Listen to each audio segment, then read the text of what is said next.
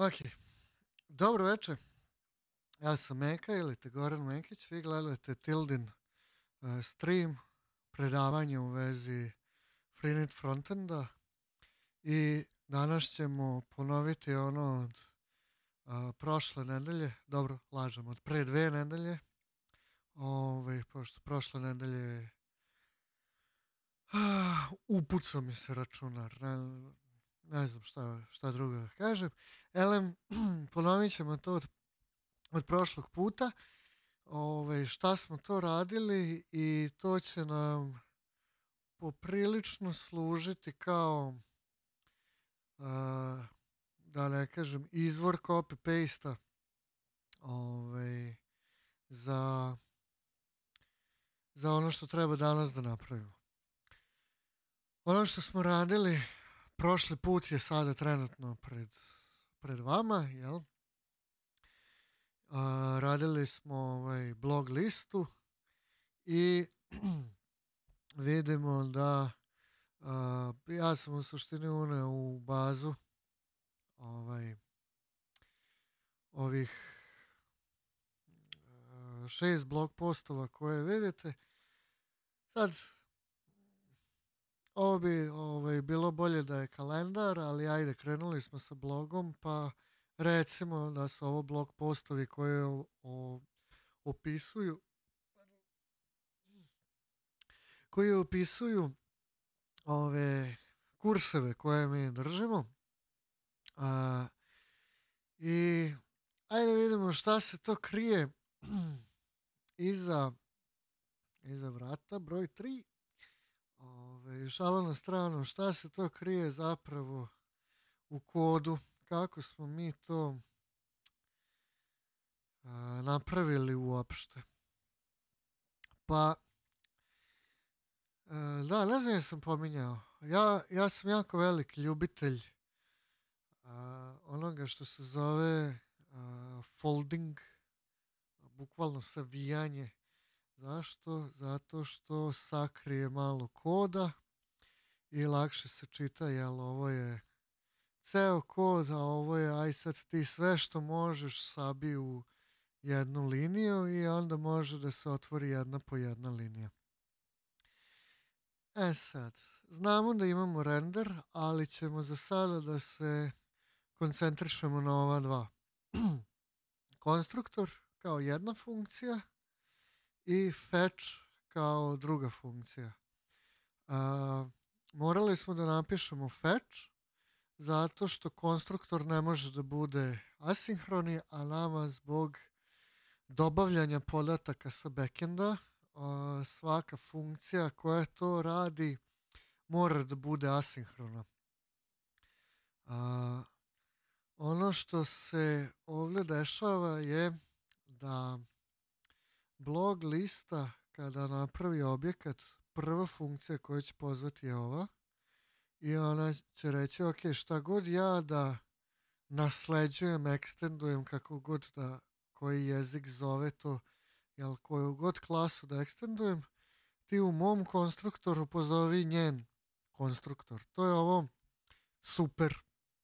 Da ne bismo morali da znamo koja je komponenta i ovaj, koju nasleđujemo, super, kaže, ok, znam ja koja je, koju komponentu nasleđuješ, nema problema, pozovi mene, ja ću, ja ću pozvati što treba.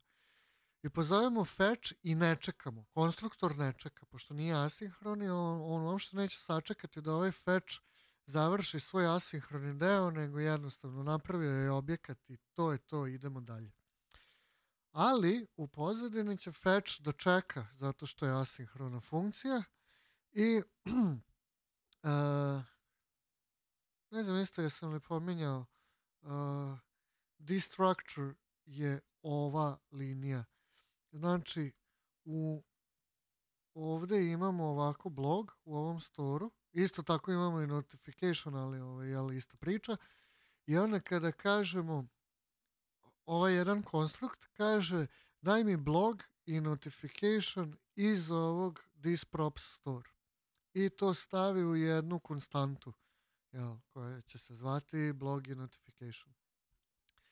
Uh, kažemo, ok, aj pokrenuo ovu funkciju fetch all koja će otići do backenda, sačekati da vrati podatke, jel, sačekati to je ovo wait koje mora da je u ovom asyncu i ono što se na kraju desi će uh, da, da smesti u response.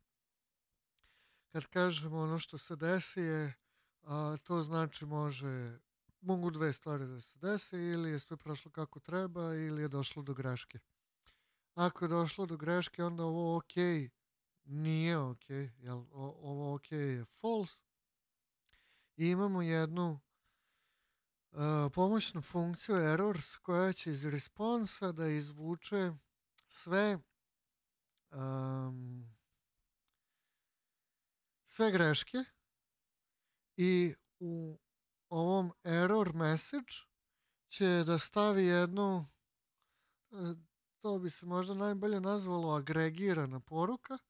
Ako već nešto error message ne piše, onda vidi iz ostalih erora da, ovaj, da pokupiš šta se dogodilo. Kad kažem ostalih erora, na primer, a, naš backend podržava um, može da vrati objekat kao kao grešku, mislim vraća objekat kao grešku, ali u tom objektu je na primjer ako bi ovo bila neka forma u kojoj smo mi unosili nešto i poslali smo podatke backendu, backend može za svako polje tačno da nam kaže koja je greška. Pa kad kažem da je ovo agregirana poruka, zapravo neće sve zbuđiti u jedno, ali ovaj, ima malo logike da da li ovo message postoji ili ne, ako ne postoji šta da stavim u njega, te da ova poruka ima, ima nekog smisla, jel? Ono što prošli put nije radilo je da ova notifikacija se nije pokazivala, ovaj, a trebala je jel, onako malo nešto da, da iskoči. Uh, u stvari, ajde da vam pokažem tačno na što mislim. Ako zeznemo ovde, ups, ne taj, uh, fetchall. Ako zeznemo ovde URL, ovo bi trebalo da vrati neku grešku. Ali ja nisam prebacio na browser. Ok, ajmo ponovo. Znači, kad se učita, ne znam je se vidi, e, ovo dole, jel, not found, je ono error.message. Ajmo, da vidimo ovako.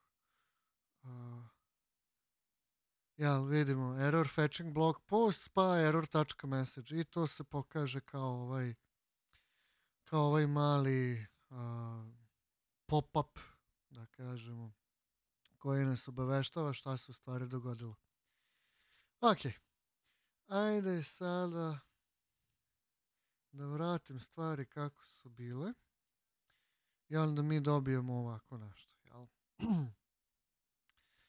um, zašto to u prošlom predavanju nije radilo? Zato što sam zaboravio da mora template da se koristi. Da li template iz ovog ovde našeg defaulta ili iz Freenita empty template koji ne postavlja ovu ah, opet browser ok. Uh, znači moram ovo template da da importujem i taj template mora ovaj, da je ona da je komponenta koja obuhvata sve ostale komponente koje mi stavljamo ili ovo HTML elementa ovako. Da li se koristi ovaj template ili onaj empty template, razlika je, samo sekunda,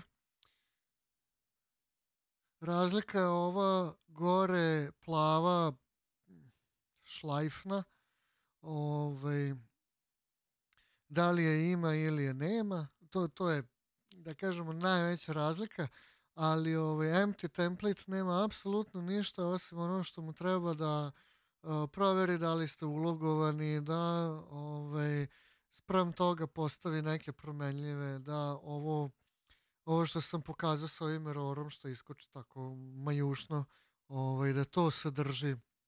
Tako da ima ne, nekih malo, nekog malo koda koji zapravo vizuelno ne radi puno ili skoro pa ništa, ali je pokupio uh, taj template, pokupio je ovaj, sve funkcije i komponente koje nam trebaju stavio u sebe i onda recimo ove notifikacije rade onako kako mi očekujemo. E sad, da vidimo šta se ovdje još nalazi. A, imamo samo nešto malo stila. Dobro. I sad ovdje imamo jedan jedan poveći blok koda koji ću objasniti za sekund. Ali taj, znači vidimo da, jesam malo, eh, ovako. Vidimo da smo mi u jednu promenljivu stavili, ili konstantu bolje da kažem, ovaj, da smo stavili ceo ovaj link. Kad kažem link, jedan link je, jel, jedan link sa kardom je ovaj, jedan blog post. I to što smo mi stavili u tu konstantu se ovako a, renderuje u, u ovom u ovom return jel, a, bloku Uh, hoću da kažem, ako imamo neku konstantu ili promenljivu, da bismo je stavili među uh, ove među komponente, ovako između vitičastih zagrada ide njeno ime. E, a sad da vidimo šta to tačno radi ovo ovde. Pre nego što to uradimo, možda bolje da pokažem nešto drugo da, da krenemo ovako. Šta se to zapravo dobije od backenda? E, sad znam da je malo mrljavo. A, jel može ovo da se poveća? Može, divno. Sad ja znam da da je ovo blogs a, vidimo da je API V0 blogs, otišao je tamo i dobio response koji izgleda ovako. Imamo jedan veliki JSON, ali ako obratimo pažnju, samo trenutak, vidimo da nam je vratio zapravo niz od šest objekata i svaki od tih objekata ima informacije o jednom blog postu. Ajde sad da vidimo kad znamo da i inače to je u data jer vrati nam data pages published total. Uh, zašto nam vrati published ne bi trebalo da je ovde, ali ajde u redu. Ovaj nije ne smeta.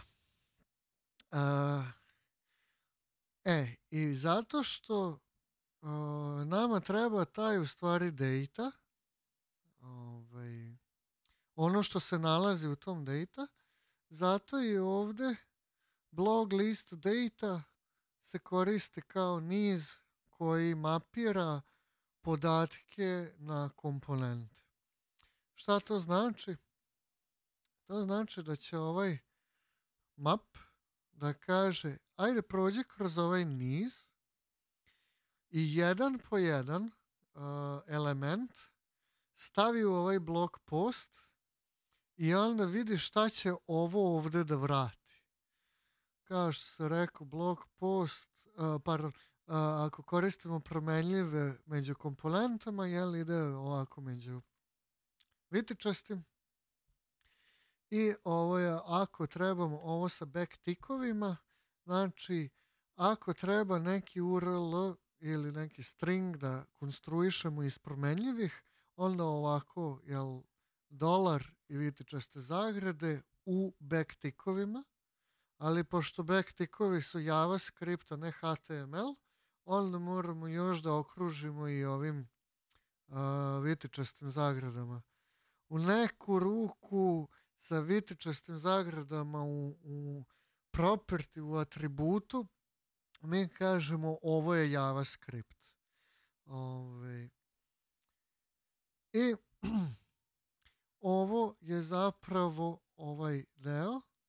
Mi ćemo ih imati šest komada ovih link, card, card media, bla, bla, bla. Ovaj, šest komada zato što u data ima jel, šest elemenata.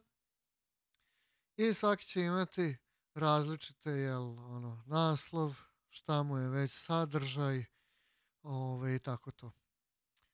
E sad, e, to je ono što radi map. Za, zašto se zove map?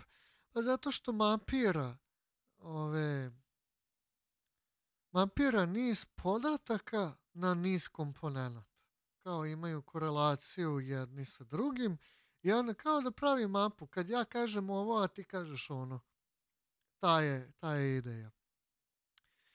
I ovo je ovo je otprilike ja ne znam koliko procena, ali većinski deo programiranja u frontendu je ovaj, ovaj princip.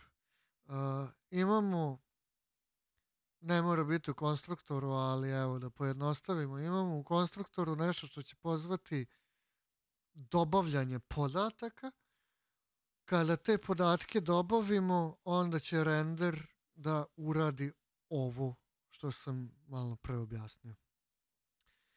E sad, ajde da pogledamo, da, inače, zašto je ovo link, kada bi, opa, ajmo ovako. Kada,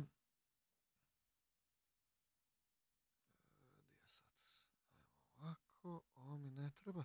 Znači, ovo celo jedno je link. A, ima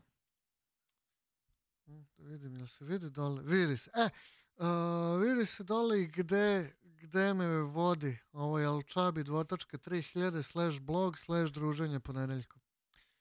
Uh, jer mi smo rekli da je, jel, to, to mu je link. Kada odemo na njega,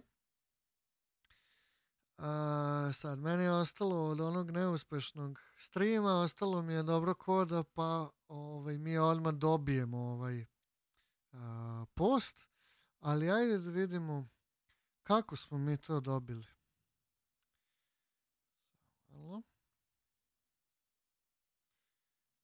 Znači, pored ovog list koji je ovde, mi imamo i detail.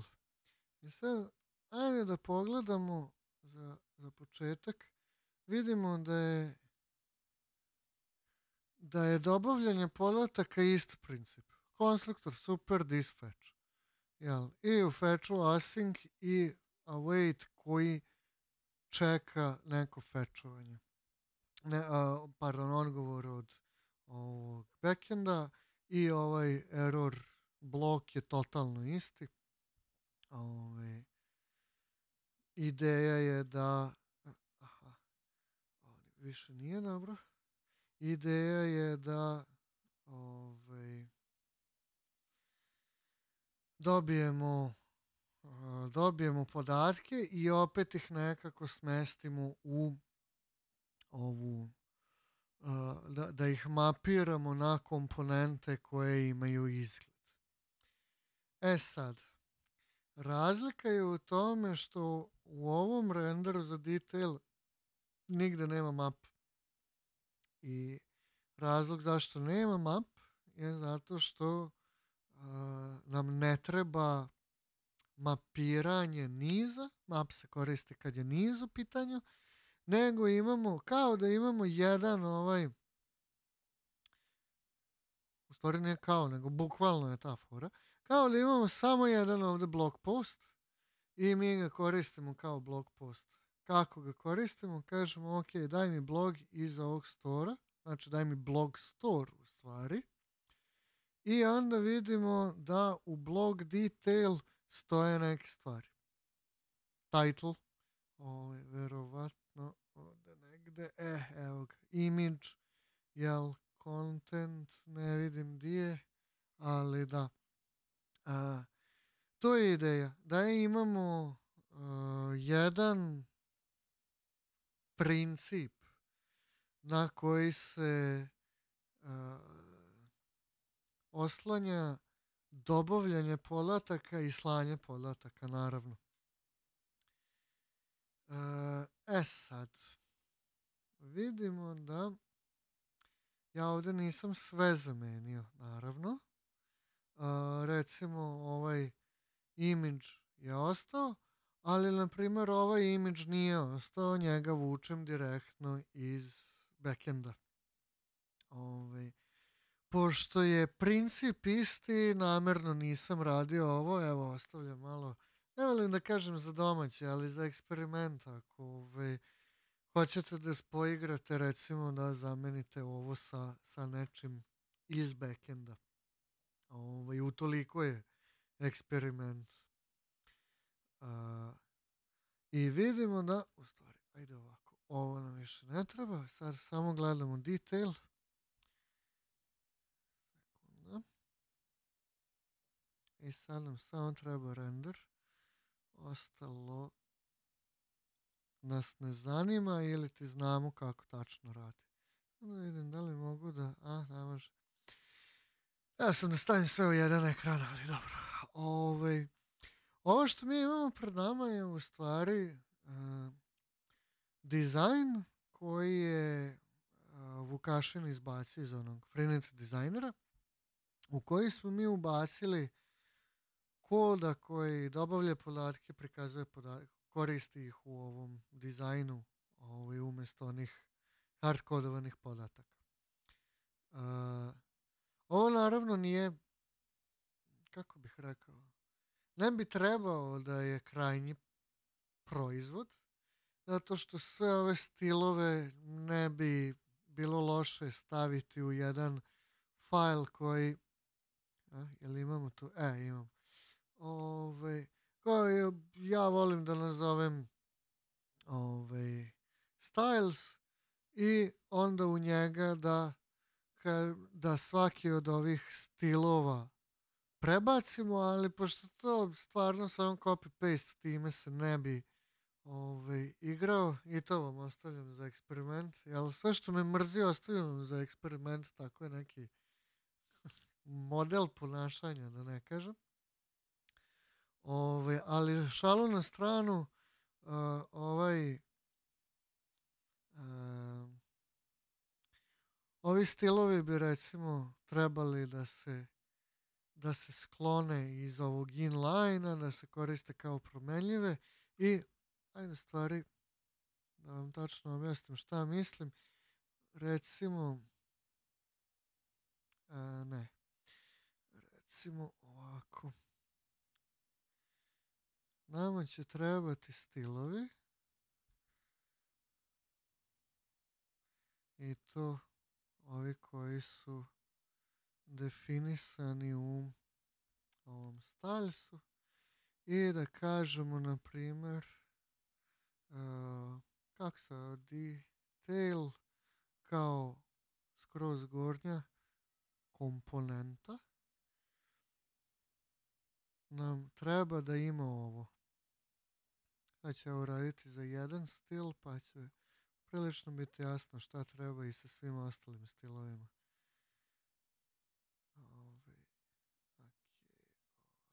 Ovako. I ovako.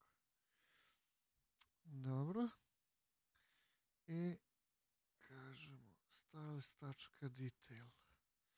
Sad, pošto je kraće, možemo ga u jednu liniju i onda ovako, malo lepše izgleda. Sad, ako prebacimo na browser, tamo se ništa nije promenilo, jel? I ne treba, jel? Zato je radimo da bi bilo isto vizualno, ali što se tiče koda, da je malo strukturiraniji, da nije sve nabacano ovaj, u jedan podatak, u, je, u jedan, bože, ovaj, u jedan fajl. Sad vidimo je li ovaj stil i ovaj stil bi mi trebali u ovim stilovima nekako da ih nazovemo i onda da koristimo styles. pa to ime. Kao što ovdje koristimo styles.detail. Jel mi opet bros? Dobro je nije. Kao što je ovdje styles detail, znači to je korelacija. Kako nazovemo ovdje, tako se zove vamo, samo što treba još da stavim styles tačka ispred. To je ove, to je cela džunkologija.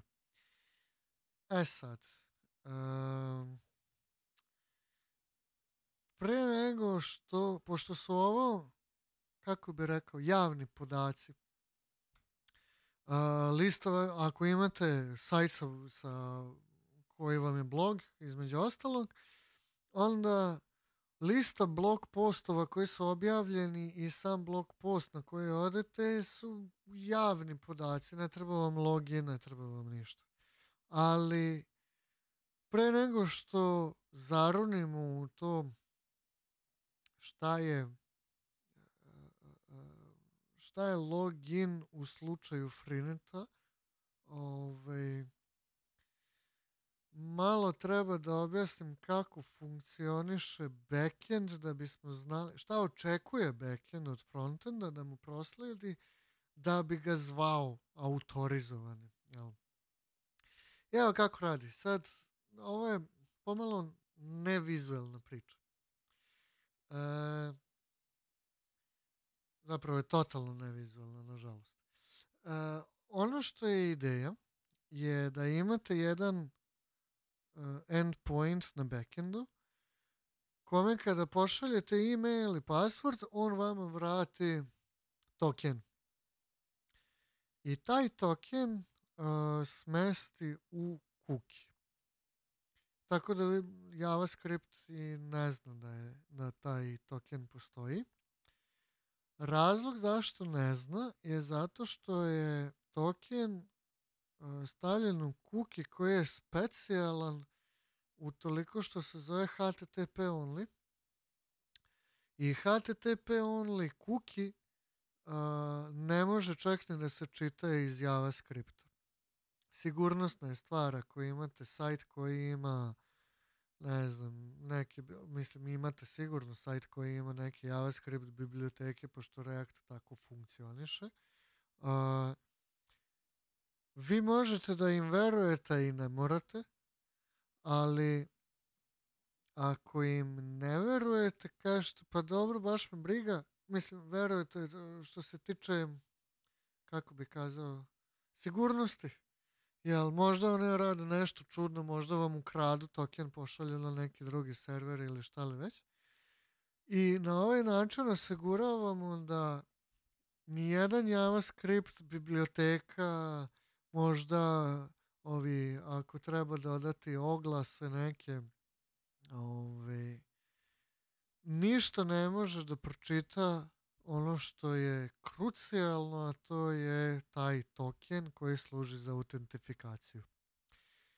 A, međutim, taj token ima validnost od samo 15 minuta. Može da se podesi, ali po defaultu 15 minuta. A, jako dobra praksa je da je to generalno kratko vreme i et 15 minuta je dovoljno kratko vreme.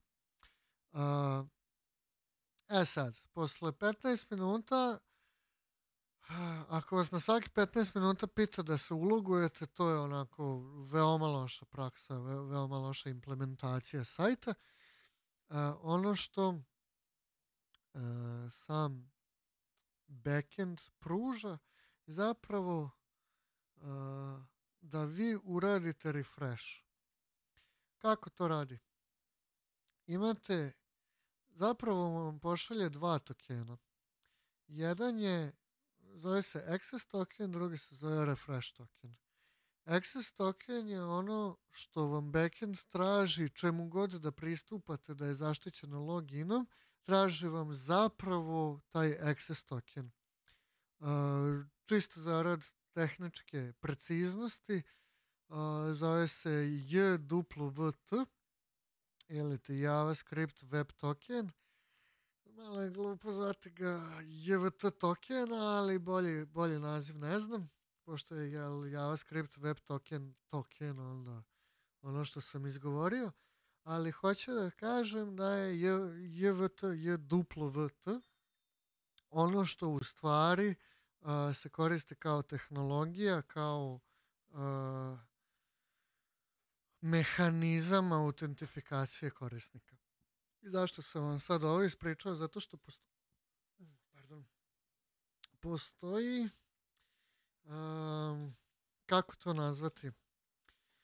Postoji jedan samo endpoint koji se zove refresh i samo tamo backend očekuje uh, refresh token da se pošalje. Gde god drugo pošaljete refresh token, on kaže ja ne znam šta će s ovim. Uh, I niste ulogovani. Kao da niste ulogovani. Uh, tako da taj refresh token traje valjda mesec ili godinu ili tako nešto. Je dugačak period. Ovaj, za različite definicije dugačkog. I ovo je, ovo je kako autentifikacija radi. Sva sreća, pa se to dešava bez nas. Uh, sama autentifikacija se dešava browserom, zato što browser šalje kukije, prima kukije i to.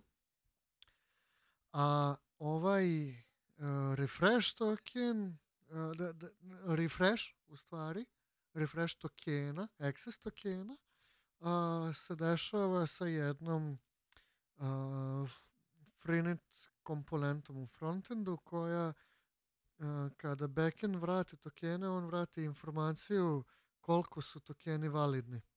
Ja kaže, aha, dobro, meni je ovaj, access token validan 15 minuta, ja ću na svaki 15 minuta da uradim refresh.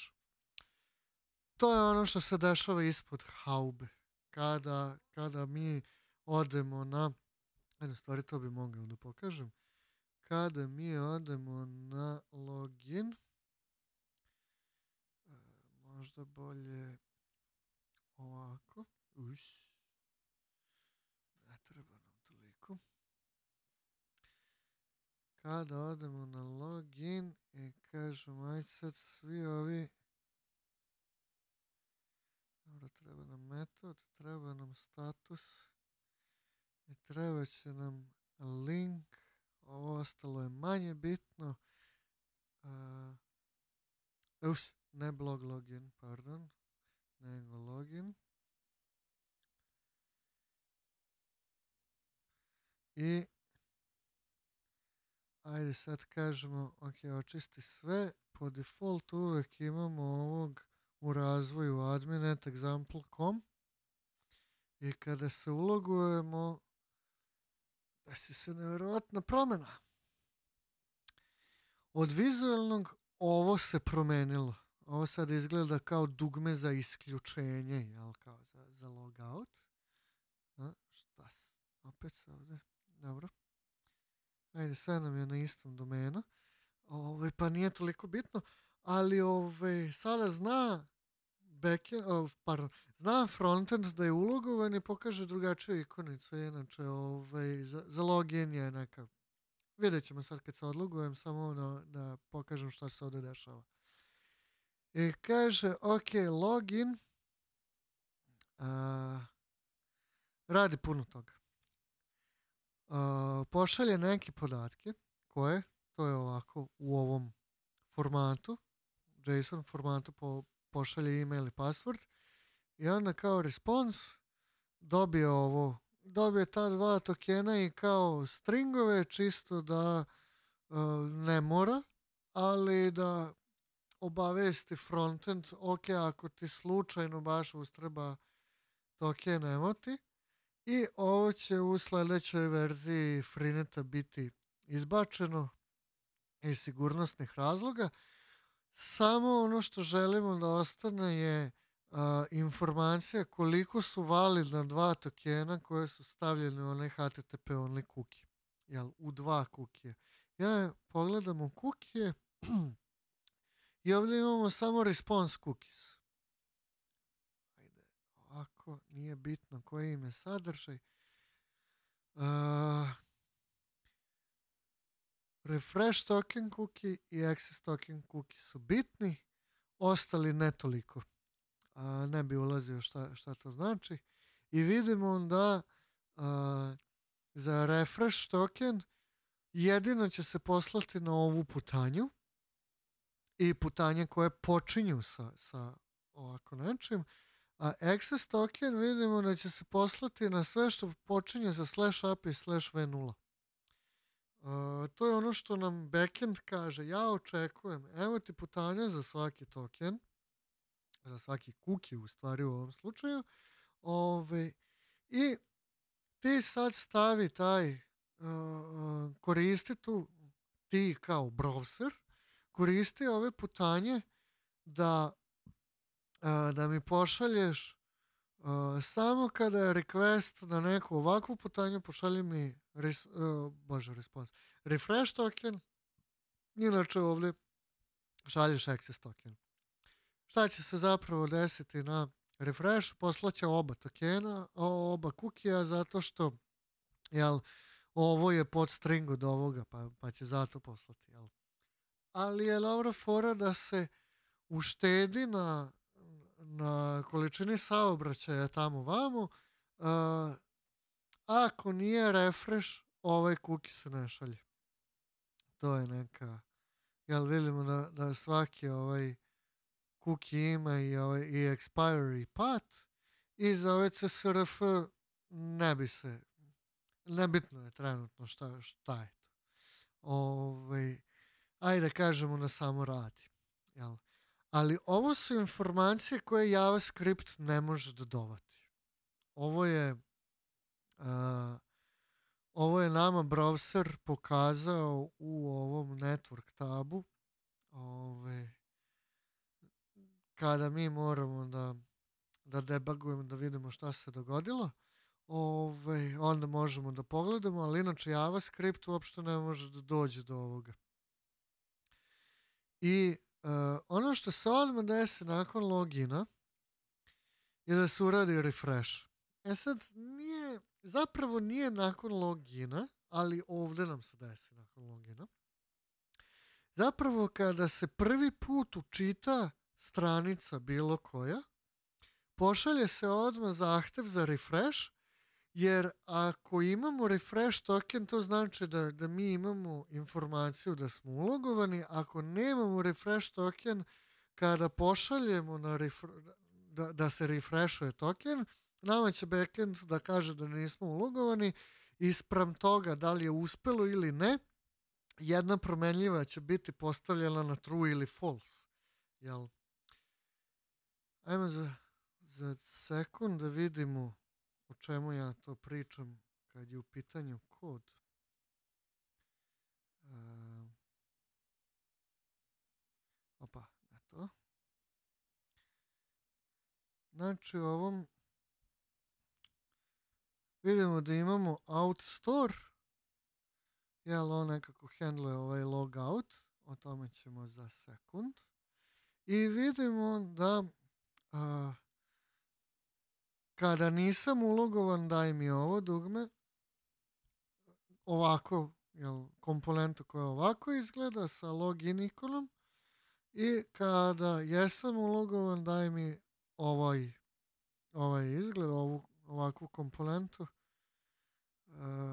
da mrzim tačku zarez kao neko ko programira C++, ja ne bi trebao da ovo govorim, ali stvarno mrzim tačku zarez. Ove, I pravila, kako da kažem, lepog pisanja koda u JavaScriptu kažu koristi jednostruke navodnike svuda za stringove, osim ako je a, property, atribut, onda koristi dvostruke ukoliko ti treba string. Ok, e sad.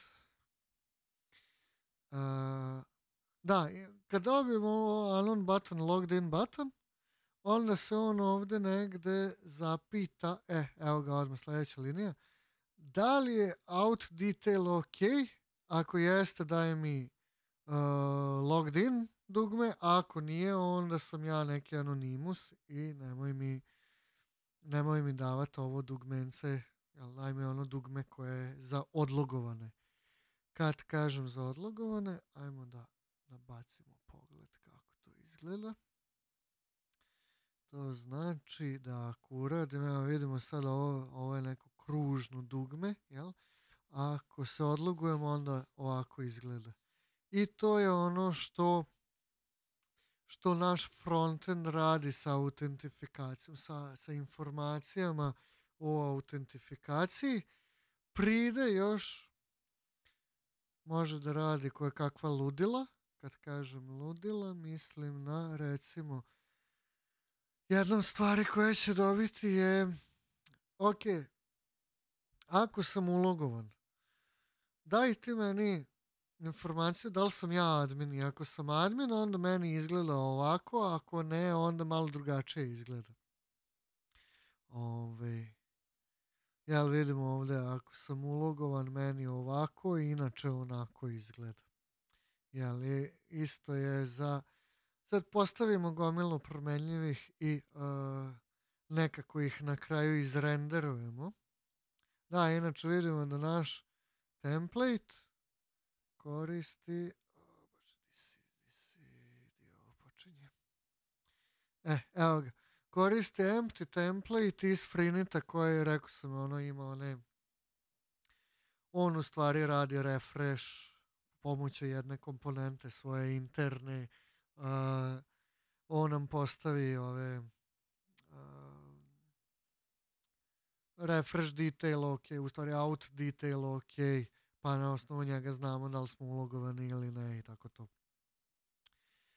Elem, uh, morao sam ovo da, da ispričam pre nego što nastavimo sledeće nedelje sa, sa samom ovaj, implementacijom koja koristi uh, kako da kažem detalje koje samo ulogovani mogu da, da koriste.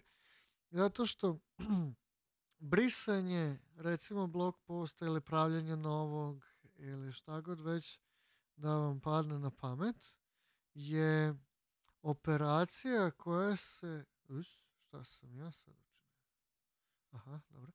Uh, sve te operacije osim daj mi listu blog postova i daj mi jedan blog post Ovaj, uh, smag. Dobro, ok, očigledno imamo par ovih par grešaka, tajpova, da kažem, ali ovaj, još uvek je ispravan kod kao kod. Uh, ok, znači, ono što sam što sam hteo da kažem je da da pre nego što nastavimo sa ostalim, sa korišćenjem ostalih endpointa u Freenitu, u backendu, za ovaj blog, morali smo da prođemo malo autentifikaciju, jer inače izgleda dosta magično. Jel mi uradimo login i onda browser kaže backendu šta god da treba da mu kaže kroz ove kukije da smo mi ulogovani. E, dobro. A, kao i obično, ne bi vas ja puno zadržavao. A, to bi bilo to za danas. E, vratit ćemo se još kako radi ova autentifikacija, pošto znam da je složen proces. Uh, mislim, Sama autentifikacija radi jednostavno. Login, password, JVT token. Ovaj. Ali ovo što je ispod vode, da bi, da bi smo bolje razumeli, ovaj, mora malo da, da se ponovi da, da ima malo više smisla.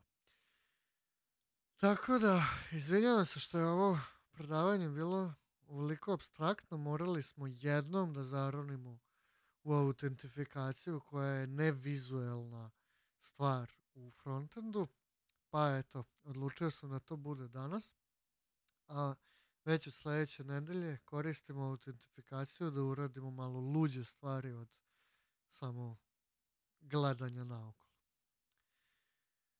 Tako da, hvala vam na pažnji, vidimo se sledeći put.